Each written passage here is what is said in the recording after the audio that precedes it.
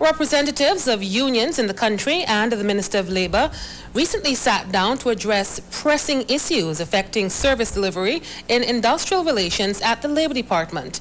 The Antigua and Barbuda Trade Union Congress, the Antigua and Barbuda Employers Federation, and the Labour Department were represented at a meeting with Dr. Errol Cort. More in this report. The meeting was a follow-up to previous discussions held between the parties.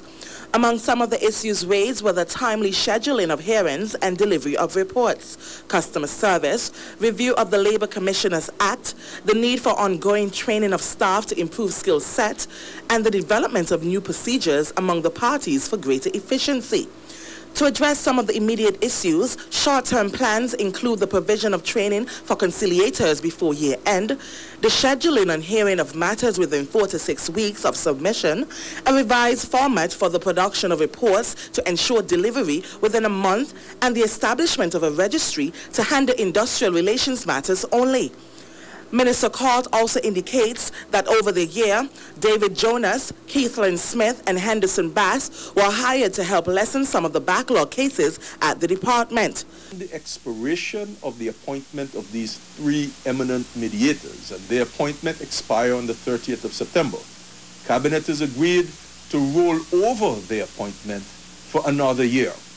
So, subject to their acceptance, I uh, am able to say that we would be happy to have these three eminent individuals continue the work that they've started in dealing with the backlog of cases. The Labour Minister says all parties as a part of the conciliation process need to have renewed spirits and make the effort to be present at scheduled hearings. We have a challenge and we need to arrive at some understanding in terms of how we deal with this matter. Is it that once a matter is set down for hearing and one party or the other party does not come, we will just move ahead to hear the matter in absentia of the other party. No, I should say that we have started that as a strategy within the Labor Department. But that is less than satisfactory because the whole process is a process of conciliation. And how could you conciliate in the absence of one party? So we need both parties present to be able to properly conciliate.